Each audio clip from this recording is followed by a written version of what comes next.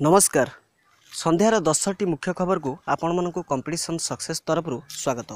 ଆଶା କରେ ଭିଡ଼ିଓଟିକୁ ଆରମ୍ଭରୁ ଶେଷ ପର୍ଯ୍ୟନ୍ତ ଦେଖିବେ ଏବଂ ଭଲ ଲାଗିଲେ ନିଶ୍ଚିନ୍ତ ଭାବରେ ଗୋଟେ ଲାଇକ୍ ମଧ୍ୟ କରିବେ। ଚାଲନ୍ତୁ ଆରମ୍ଭ କରିବା ପ୍ରଥମ ଖବର। ଲକଡାଉନ୍ ପରେ ସରକାରଙ୍କର ନୂଆ ଘୋଷଣା। ଘରେ ପହଞ୍ଚିବ ଭତ୍ତା ଓ ରାସନ। ନିରାପତ୍ତା ଭତ୍ତା ପହଞ୍ଚିବାକୁ ସରକାର ନିର୍ଦ୍ଦେଶ ଦେଇଛନ୍ତି। କରୋନା ପାଇଁ ରାଜ୍ୟ ସରକାର ସମ୍ପୂର୍ଣ୍ଣ ଓଡ଼ିଶାକୁ ଲକଡାଉନ୍ ଘୋଷଣା କରିଛନ୍ତି। ଚାଲନ୍ତୁ ଦେଖିନେବା ଦ୍ୱିତୀୟ ଖବର।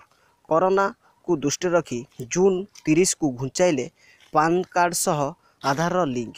ଅବଧି ନେଇ ପ୍ରେସ୍ ମିଟ୍ରେ ସୂଚନା ଦେଇଛନ୍ତି ମାର୍ଚ୍ଚ ତିରିଶ ଥିଲା ଶେଷ ଅବଧି। ଏହାପରେ ଦେଖିବା ହେଉଛି ତୃତୀୟ ନମ୍ବର ଖବର। କରୋନା ପାଇଁ ଲକଡାଉନ୍ ବେଳେ ଅତ୍ୟାବଶ୍ୟକୀୟ ସାମଗ୍ରୀ କଟକଣା ନାହିଁ। ଓମ୍ଫେଡ୍ କ୍ଷୀର ପ୍ରଚୁର ଏନେଇ ଚିନ୍ତା ପ୍ରକଟ କରିଛନ୍ତି କୃଷିମନ୍ତ୍ରୀ ଅରୁଣ ସାହୁ।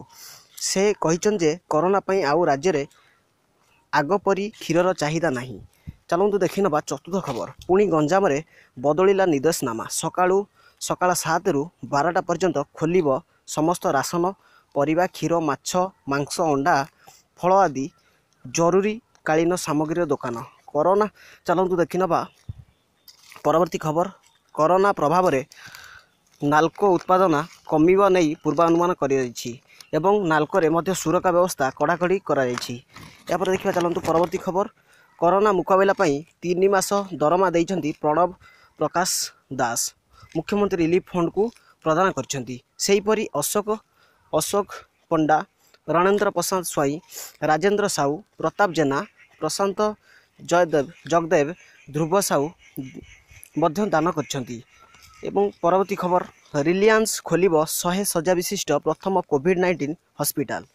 ପରବର୍ତ୍ତୀ ଖବର ମାନ୍ୟବର ପ୍ରଧାନମନ୍ତ୍ରୀ ନରେନ୍ଦ୍ର ମୋଦି ଆଦି ଆଜି ରାତି ଆଠରେ କରୋନା ସମ୍ବନ୍ଧୀୟ କିଛି ଗୁରୁତ୍ୱପୂର୍ଣ୍ଣ ସୂଚନା ଦେବେ ବୋଲି ନିଜେ ନିଜେ ଟ୍ୱିଟ୍ କରି କହିଛନ୍ତି।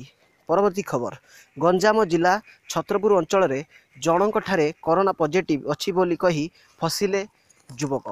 ଏହାପରେ ଦେଖିବା ହେଉଛି ପରବର୍ତ୍ତୀ ଖବର ଶେଷ ଖବର ଯାହାକି ସାରା ରାଜ୍ୟରେ ଚାଲିଥିବା ନିର୍ମାଣାଧୀନ କାମ ତୁରନ୍ତ ବନ୍ଦ ପାଇଁ ସରକାରଙ୍କର ନିର୍ଦ୍ଦେଶ। ସ୍ୱାସ୍ଥ୍ୟ କ୍ଷେତ୍ରରେ ଜାରି ରହିବ ଚାଲୁଥିବା ନିର୍ମାଣ କାମ।